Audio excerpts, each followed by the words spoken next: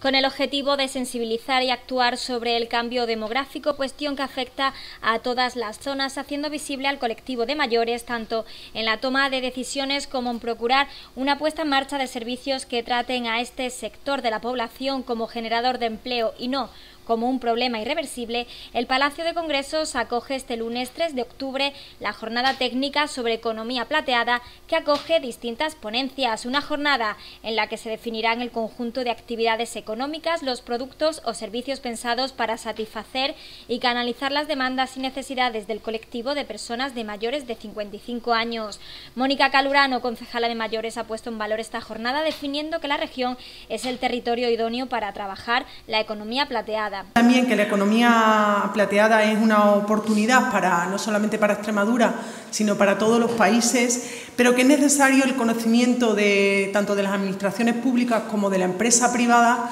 para promover eh, este tipo de, bueno, pues de economía. Eh, además, eh, estamos oímos cada día más los mayores ya no son tan mayores, Los mayores tienen mucho que aportar mucho que, decir y, los seniors deben darse cuenta de que eh, les quedan muchos años por, delante y además deben decidir eh, cómo quieren vivirlo. Eh, por tanto, hay que incentivar la calidad y la formación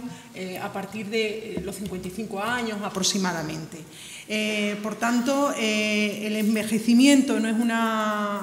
realidad local, sino es una realidad universal eh, estoy segura de que hoy eh, vais a sacar muchas conclusiones y buenas conclusiones de esta jornada. Eh, yo doy la bienvenida a Villanueva de la Serena, una ciudad amigable, una ciudad hospitalaria y una ciudad donde yo creo que el mayor patrimonio que tiene es su gente.